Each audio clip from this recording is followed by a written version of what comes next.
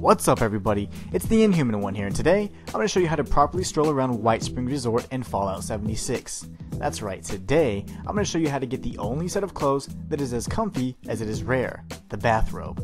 Now first things first, you're going to want to head to the White Springs Resort, which is located southeast of Vault 76 and right on the edge of the Forest and the Savage Divide. Once you locate it, make your way to the Live Chic shop that is home to Floresca the Assaultron.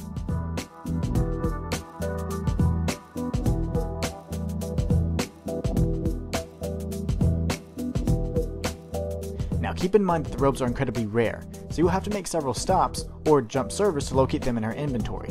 Once you do, be sure to snag them because I have not been able to locate these anywhere else in Appalachia. And once you put on this robe and matching slippers, everything that the Wasteland has to offer will be an absolute breeze. I mean, come on, how hard can you dig it if you spin it in a bathrobe?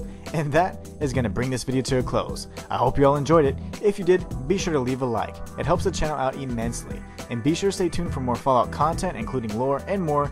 And until next time, it's the Inhuman One, signing out.